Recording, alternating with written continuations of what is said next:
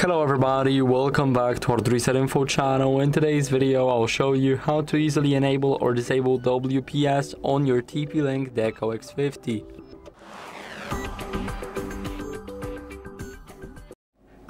So here we are in the app, we are in the more section now.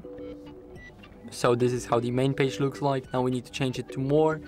And here we need to go to WPS. Now it should allow other devices to connect. So let's click here. As you guys can see now it's blinking in the blue color.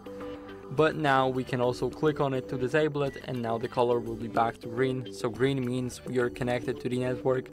The yellow that it turns on and the blue, the lightning blue basically, it will mean that the device is trying to connect to any other clients.